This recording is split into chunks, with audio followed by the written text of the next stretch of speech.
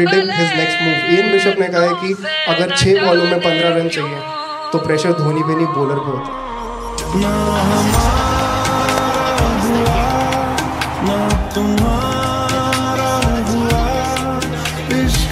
है